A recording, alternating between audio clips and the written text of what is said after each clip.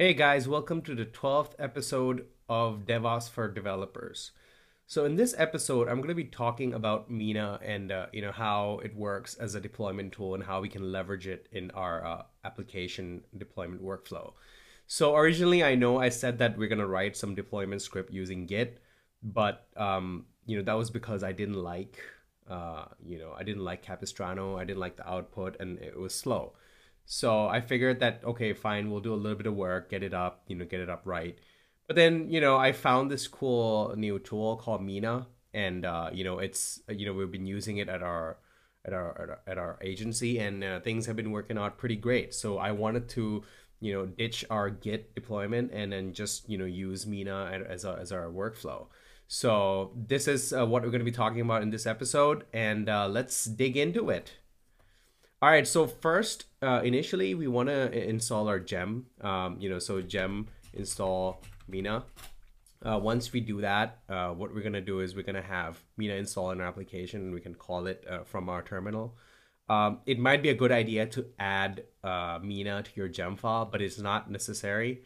Um, you know, if you're using things like continuous deployment, uh, continuous integration, you might need to add it to your gem file, but I found that in most cases, uh, like in our case, like right now, we're just deploying directly from our computer, so we don't need to do that. Um, so I'm just gonna let that gem install. Uh, there it is, it's installed. So now we can call uh, Mina init. So let's initialize Mina for our Rails project. So Mina init. So what this is gonna do is it's gonna generate a config file in our uh, you know config folder in our application. So it says here, edit this file and run Mina setup after. Great. So let's open up our project. So I'm going to do sublime dot to open up our project and I have it right here. All right. So here in config, we have our deploy. Uh, and uh, what I'm going to do is I'm going to configure this domain to be checkin.me. So this is basically the domain that we're using for our server. Um, here I'm going to do OPT so this is all like you know from the previous episodes that we set up our application. Um, you know basically this is a, what we you know what we're using uh, you know for for our, our path. So then I'm gonna have the git repository. So I'm just gonna copy my git repository from my github. And here we go. Uh, so the branch is gonna be develop branch right? Uh, we need to set the user so our user is a deployer, right? On our server, we're using the deployer user. Uh, everything else uh, is, is okay. Um, you know, we are using RBENV. So what we need to do is we need to enable RBENV. So up here, I'm to do Mina RBENV right there. Uh, so you just uncomment, the line is already there. So Mina works right out of the box with RBENV. So that's a nice thing. Um, Okay, so that's pretty much it. Um, so th- you know, this will basically get us started. I mean, that's all you really need to do. Um, you know, Mina Camp comes right out of the box and it just works. So that's it's really really cool. So what we need to do here is, you know, we're not going to launch our application. We just need to configure our application to deploy correctly first, right? Uh, so once we've uh, done all that, um, you know, now we need to basically run Mina setup. So let's see if it, that's gonna work. So Mina setup.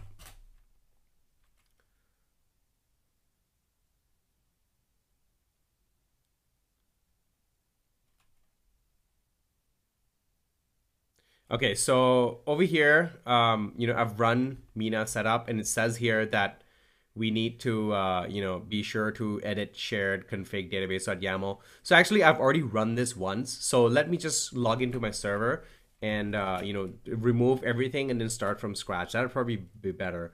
Uh, so I'm gonna SSH into my deployer at checkin.me.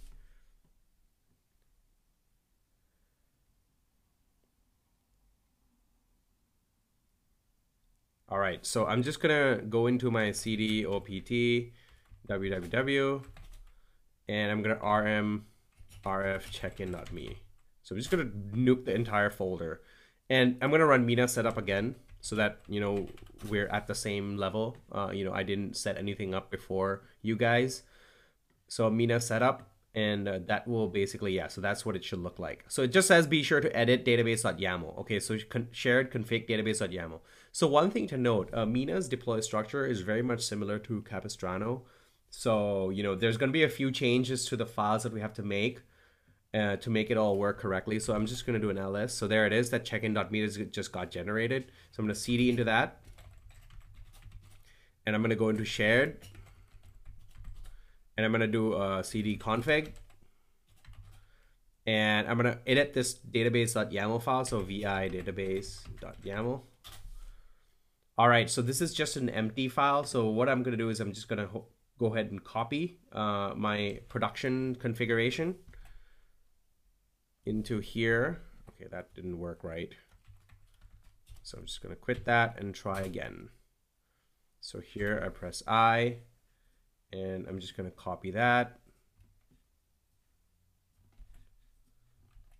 So that, you know, basically that's what your database uh, production configuration should look like um, you know, we are using Shopper production database. So we did all this already once uh, previously when we were going to do our Git deployment. Uh, but, you know, since th this is now Mina's way of doing it, you know, it's it's in the shared folder. So we need to reconfigure to make sure that everything works this with, with, with our new configuration. So this is what your uh, database YAML is going to look like. Uh, I'm going to do an escape and then uh, just, you know, save and quit. And there we go. So that's basically our database.yaml. Um, and basically now we can try running a deploy, right? Um, you know, actually before we run a, you know, let, let's try and run our deploy. So Mina deploy. So what we're going to get is we're going to get an error that says that, um, yeah, so it's going to say that, you know, permission denied public key uh, remote hung up uh, unexpectedly. So basically, let me explain what's going on here. So once we do a Mina deploy, what's going to happen is instead of us pushing our source code from our computer over into our server, what's going to happen now is when you do a Mina deploy, our server is going to go and pull our repository from on GitHub into the server directly. So, you know, the, the server needs to be able to communicate with GitHub. So the way we do that is, uh, you know, we need to configure um, our our, our we need to generate our, our key uh, our public key uh, using SSH and uh, we need to copy our public key over to GitHub. So to do that, uh, I'm just gonna go over into my server and I'm gonna basically uh, run SSH keygen hyphen T RSA hyphen C deployer at checkin.me. So yeah, I'm just gonna put it in the default. Yeah, just overwrite that. You guys might not need to overwrite because you haven't run it before. Um, or you may have, I don't know. But yeah, I mean, once you get that, now what we need to do is we need to copy our public key uh, into GitHub. So I'm just gonna do uh, cat dot ssh slash id rsa dot pub and there we go i'm just going to copy that real quick and uh, now I'm going to head over into my browser and I'm going to go to my GitHub to basically uh, add in our public key. So SSH key, add SSH key. There it is, uh, DOFD. And I'm going to click add key, put in my password if I can remember it. All right, so now we have the public key installed uh, the next step we need to do is we need to initialize this, this connection. So I'm going to do ssh git at github.com. Okay, so now we have successfully authenticated, right? So, you know, we can now, uh, you know, our server can now pull the source code from GitHub. So let's try that out again. Mina deploy. Nothing's happened yet. My mouse accidentally scrolled. So now it's gonna clone our repository uh, into the you know into the the our working directory on our server. So check this out. It's gonna install all the gems and you know do all that kind of stuff for you. So pretty cool, right? Like you don't have to configure uh, you know your server to do any of that stuff for you. You know, basically Mina just takes care of everything for you.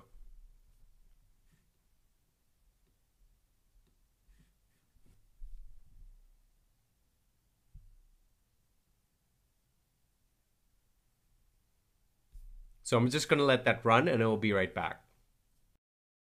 So my bundle uh, install has uh, completed and it's now basically running the database migration even though we don't have any database migrations. It's just going to check it and if it finds it it's going to run it. If it doesn't find it it's going to automatically skip it for you. Um, again pre-compiling assets uh, you know this is a, a, all automated by mina. Well, if mina detects that there's a change in your assets file it's going to run the, the you know compile assets for you so in this case i'm doing an initial deploy um, so what's going to happen is it's going to it's going to compile that assets uh, you know for for the application. So we'll let that run. Okay, um, so basically, once your uh, you know your deploy is finished, you, it's gonna look something like this. You're gonna have you know moving build release. So basically, this is it's now successfully you know deployed our application.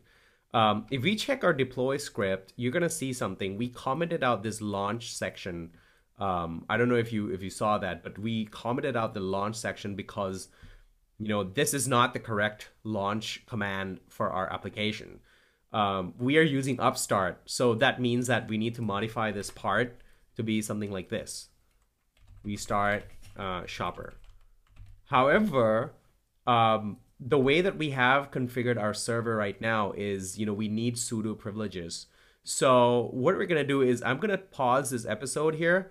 Uh, I'm going to put that back so that in the next episode, I'm going to continue with this, um, you know, with, with this configuring this launch command and, you know, all the stuff that we have to do to correct our server configuration to make it work right. Yeah. Uh, so yeah, I'm going to conclude this episode here and we'll see you guys in the next episode.